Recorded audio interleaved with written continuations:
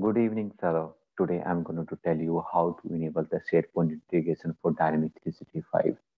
Just come to Dynamics 365 page, just click on that your left nine dot and just you can see here it is a SharePoint. Just open the SharePoint new tab. Now create the one new site.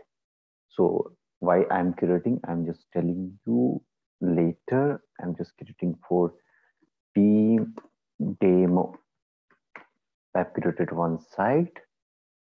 Now I'll just next, if you wanted to give the additional information, additional ownership for a specific member, you can add that member name. I'm just finishing this one. Now keep as it is here. Now just come to DCRM. Now just go for the setting. Under the setting, we have advanced setting. Just click on advanced setting that advanced setting, we need to drop down. We have a document management. Just click on the document management.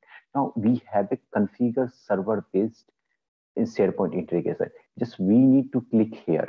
Now keep in mind, remember once we set up everything, this option will go away. It should not be exist longer. Just click on that configuration SharePoint integration. See, define the deployment. Now it will ask you whether we are using on-premise and online. So as we, as you know, I'm using Dynamics 365. It is online. So just click on next. Now here you have to specify that particular SharePoint URL. Just go for the SharePoint, which we have defined just now. See, this is our SharePoint site. Now in this SharePoint site, we have this one is the site. Now copy this link.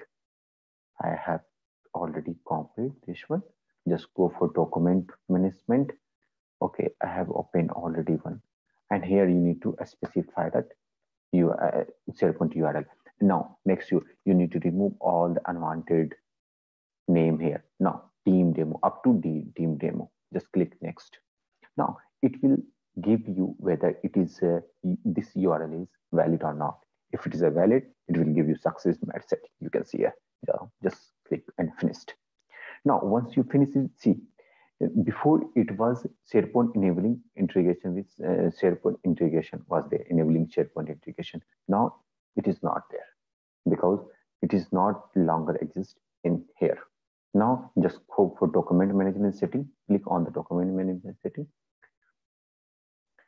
Now you need to select that particular entity.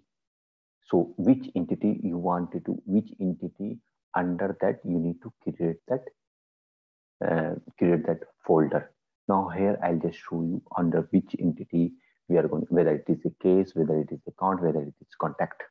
Now here I'll just, just selecting as a case one.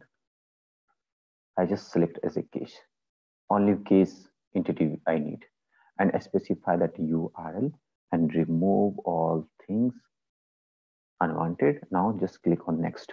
Once you click on the next, now it will ask for based entity. This is the based on from which pattern it should be created. Like if you selected the account and account, let's assume you have created, you have selected as a account. Now you are going to create. Now, once you create any new account, this account under that account name, like this is the folder under that subfolder, it should be created.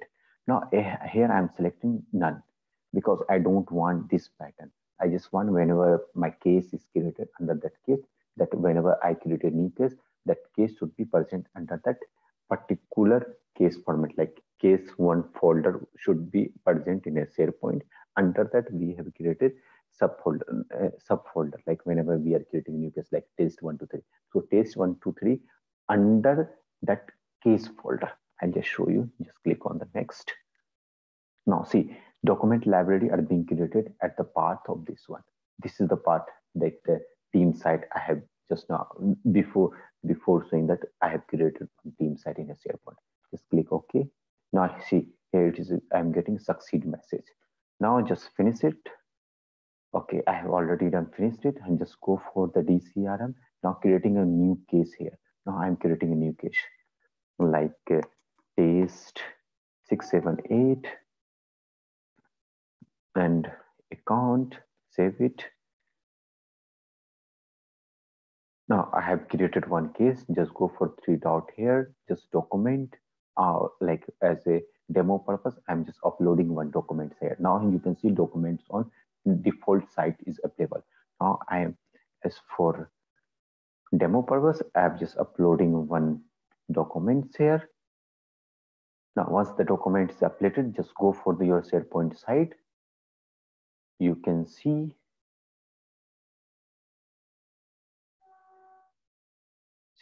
in the SharePoint site under the site content. See under that site content, we have a case. Now just click on that case. Now see page 678 with GUID with folder it's created. Now see this is the GUID. Now this is the folder created. Yeah. So that's it for your video. Do you have any question? Please let me know if there is any suggestion for me. Thank you. Thank you so much.